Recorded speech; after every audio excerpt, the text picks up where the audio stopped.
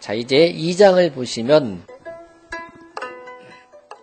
달항당인이 왈. 달항이라는 것은 동네 이름이야. 음. 달항 그 마을 당자거든. 당자가 즉 다랑이라는 마을에 사는 어떤 사람이 말하기를 그게 다랑당인 말이에요. 대제라 공자여. 대제라 이건 뭐예요? 위대하도다. 아주 훌륭하시구나 공자셔. 공자님이시여. 그 말이요. 박학이 무소 성명이로다. 그런데 뭐라고 말하냐면 박학은 하되 무소 성명이로다. 그 말이죠. 학문은 해박하신 것 같지만 무소 성명이로다. 성명 이룰 성자 이름 명자예요. 이름을 이룬 바가 없도다.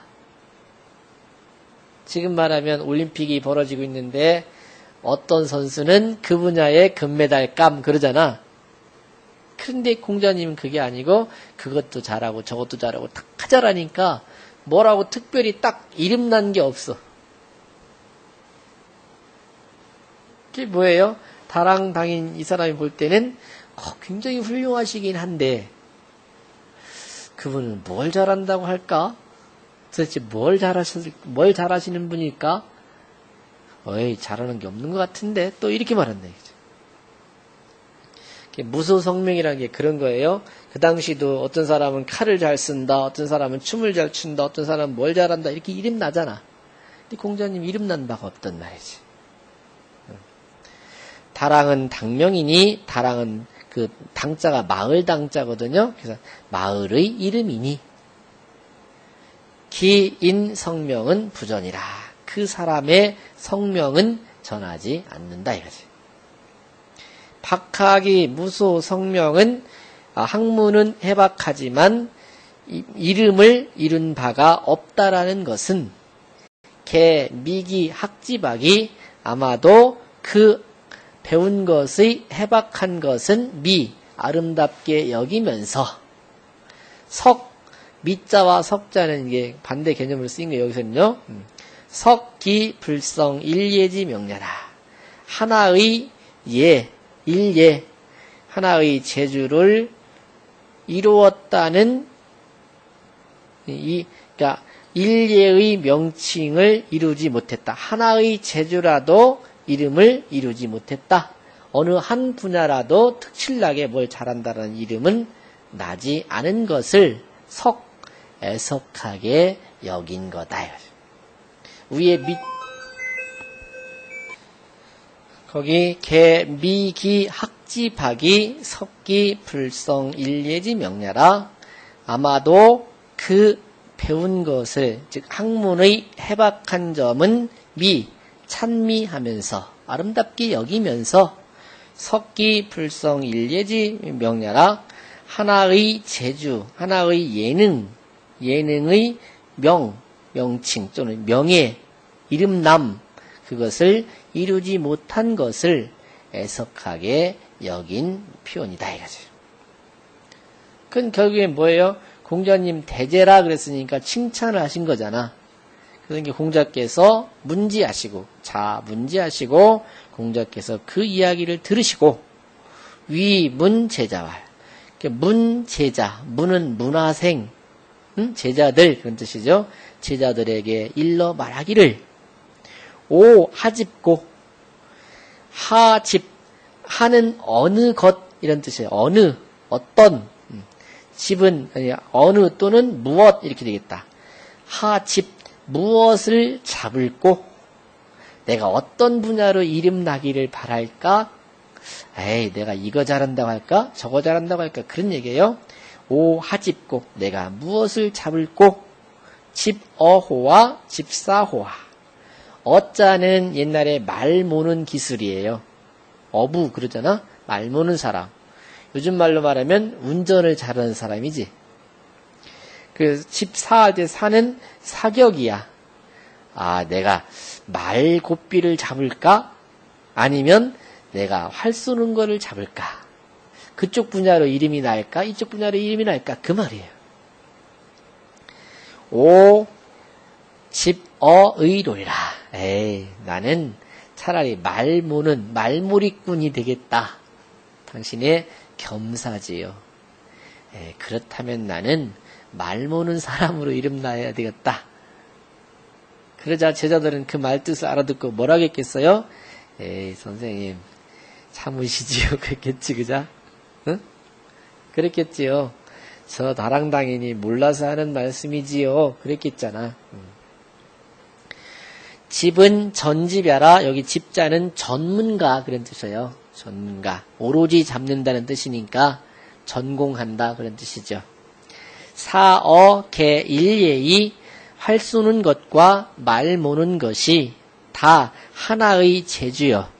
하나의 재주로 되 어위 인복하야 말 모는 것이 다른 사람의 마부가 되어가지고 어? 인복이라는 것은 다른 사람의 마부가 되는 거야. 그게 뭐예요? 다른 사람 말을 몰아주는 사람, 음? 마차를 몰고 가는 사람, 마부가 되는 바니 소집이 우집하니 잡은 바가 우자는 더욱 우자예요. 더욱 더 낮은 자리잖아. 낮으니 언욕 사로 하소집이 성명호와 말하되 나로 하여금 무엇을 잡아서 성명, 명예를, 이름을 이루기를 바라는가? 어? 내가 뭘 하기를 바라는가? 이거죠. 연즉, 그렇다면, 오장 집어의라 하시니, 내 장차 말 모는 것을 잡을 거다. 즉, 내가 말 모는 전문가가 될 것이다. 라고 하시니, 문, 인, 얘기하고, 다른 사람이 자기를 칭찬할 예자예요. 칭찬하는 것을 들으시고 승지 이 겸야신이라. 이을 승자지요. 겸, 겸손함으로써 이어서 말씀하신 거다 이거죠. 칭찬을 할 때 그냥 딱 잘라서 거절하는 게 아니라 아 그래 그럼 난 뭘 잘해야지 이렇게 받아들인 그런 말 거예요. 윤씨왈 성인이 도전이 덕비하야. 여기 도전 덕비 네 글자가 성인을 표현한 말이에요. 도전. 전자는 온전 전자잖아. 100% 도를 다 당신 몸에 지니고 어. 덕비 덕이 또 다 갖추어져서 완벽한 이 구를 말한다면 완벽한 100%의 구인데 어느 한 분야로 각이 진 게 있어야 그걸 짚어서 잘한다고 할 거 아니야. 그지? 음, 그런 게 없단 말이지. 불가의 편장으로 목지하라.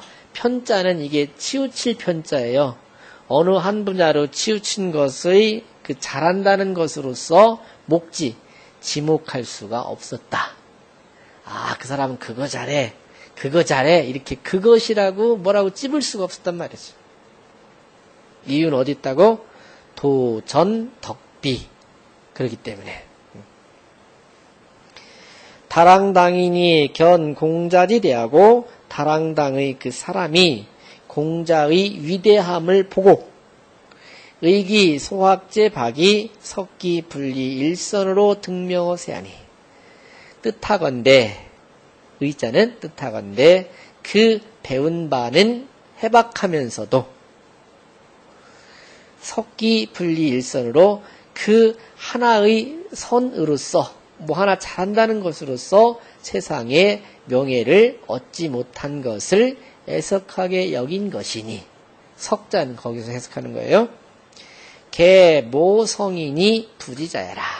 아마도 성인을 흠모하면서도 성인이 어떤 분인지를 알지 못하는 사람인가 보다. 고로 공자왈 그러므로 공자께서 대답하여 말씀하시기를 욕사로 하소집이 득이 명화 나로 하여금 무엇을 전공으로 잡아서 이름이 이름 얻기를 바라느냐라고 하셨으니 연즉 그렇다면 오장 치버이라 하시니라 내 장차 다른 사람을 위해서 말을 몰아주는 마부가 되겠다라고 답변하셨다 이거죠. 그래서 이 성인은 다른 사람이 속된 말로 깔아 뭉개려고 해도 깔아 뭉개지지도 않고 더 겸사를 하신단 말이지. 근데 우리 일반 사람들은 뭐예요? 없는 것도 있는 것처럼 포장을 하고 더 키우고 더 잘난 척하고 그러잖아. 근데 성인은 있는 것도 감추고 자꾸 더 낮추신단 말이지. 그 점을 볼 수 있어야 됩니다. 한번 읽어보자. 달항당이니왈 대제라 공자여 박하기 부소 성명이루다. 달항은 당명이니 긴 성명은 부전이라 박하기 무소 성명은 개미기학지박이 석기의 불성 일예지 명야람. 자문지하시고 위문제자왈 오하집 고 집어호와 집사호와 오이 집어의로리람 집은 전지벼라 사오이 개일예이 어이 위인 복하야 소집이 우비하니 언욕사루 하소집이 성명호암 연즉 오장지버의라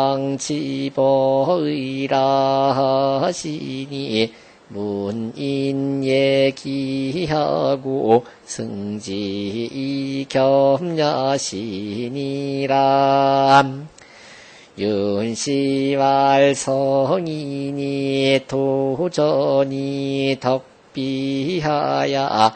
불가이 편장으로 목지야람 달항당이니 견공자지 대하고 의기소학제 박임 석기 불이일선으로 득명어세하님 개모성이니 부지자야람. 고로 공자왈 욕사로 하소집이 득위명호암. 연즉 오장지버의라 하시니라